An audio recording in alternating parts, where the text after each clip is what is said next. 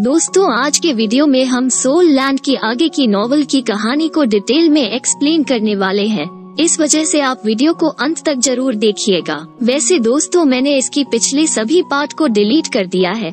क्योंकि मेरी चैनल पर बहुत बड़ी प्रॉब्लम आई है। इस वजह से मैं वीडियो में सिर्फ़ ज़्यादा से ज़्यादा स्क्रीनशॉट के साथ कुछ वीडियो को यूज़ करने वाला हूँ। अगर मैं ज़्यादा से ज़्यादा वीडियो क्लिप को यूज़ करता हूँ तो हो सकता है मेरी चैनल डिलीट भी हो जाए। इसलिए आप मुझे हमेशा की तरह सपोर्ट कीजिएगा। हमारा एपिसोड स्टार्ट होते हैं, हम सबसे पहले देखते हैं टेंशन को, जहाँ पर टेंशन डीप सी द मोनक वाले किंग को देखता है, जो अब पूरी तरह से ह्यूमन बॉडी में आ चुका था।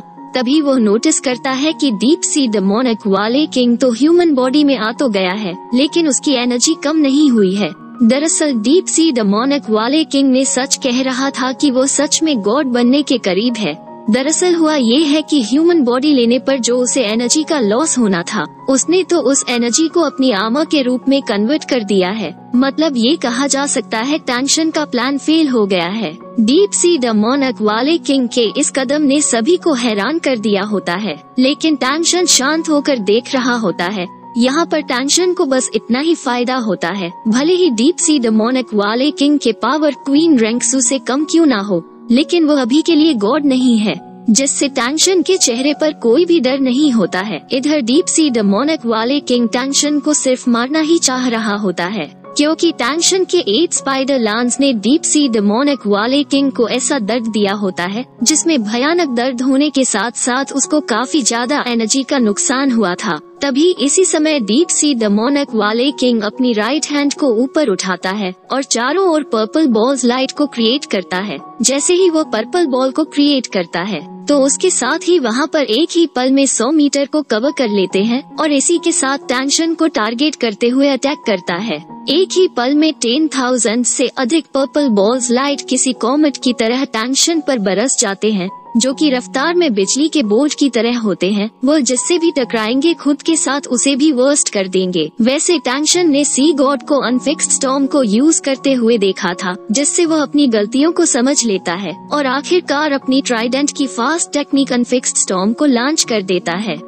भले ही अब ट्राइडेंट एक डिवाइन वेपन ना हो, लेकिन फिर भी वो इसे यूज़ करने से ना रोक पाया, क्योंकि यह डिवाइन स्किल ट्राइडेंट के साथ साथ सी गॉड से आया होता है। इसी के साथ tension the great Sumeru hammer ring detonation का यूज़ करने लगता है। हम देखते हैं कि डार्क रेड लाइट का एक काफ़ी बड़ा सकल फ्लैश होता है। ये ब्लू सिल्वर एम्पर से नहीं, बल्कि क्लियर स्काई हैमर से आया था। इसी के साथ डेथ गॉड डोमिनी को भी एक्टिवेट कर देता है, और इसी डोमिन के कारण वो golden light blood red colour का हो जाता है। लेकिन टेंशन रुका नहीं, ट्राइडेंट को लगातार घुमाते हुए और भी ज़्यादा पानी के सकल बना रहा होता है और डीप सी डेमोनिक वाले किंग के अटैक को इसी के साथ ब्लॉक कर देता है। हम देखते हैं कि वो बोल विस्फोट ना कर सके, बल्कि अनफिक्स्ड स्टॉर्म के अटैक ही गायब हो जाते हैं। ये देखकर डेमोनिक वाले किंग हैरान हो जाता है, उसी के साथ ही अपने मन में सोचने लगता है। मैंने कभी सोचा नहीं था कि टेंशन अब सी गॉड के डिवाइन एबिलिटी को भी यूज़ कर सकता है।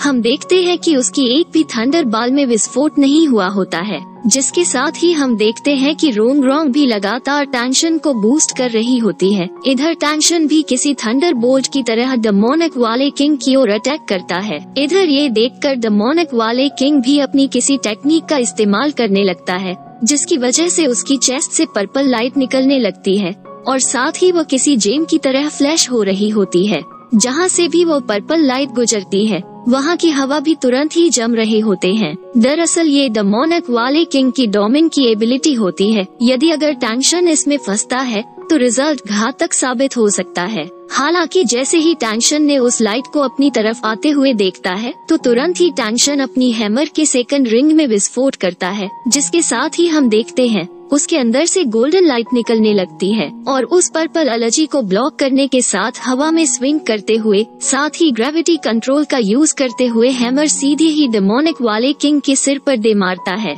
ये ग्रेट सुमेरु हैमर का रिंग डेटोनेशन का अटैक था। इस अटैक की पावर को भी डेमोनिक वाले किंग ने हल्के में नहीं लिया। उसका आमर और अधिक फ्लैश होने लगती है, जिसकी साथ ही अपने हाथों से उस अटैक को ब्लॉक करने की कोशिश करता है, लेकिन वो ऐसा नहीं पाता और गिर जाता है। इससे सौ मीटर लंबी काफ़ी बड़ी लहरें बन जाती है। वही टेंशन भी एक अटैक के बाद कहाँ रुकने वाला था।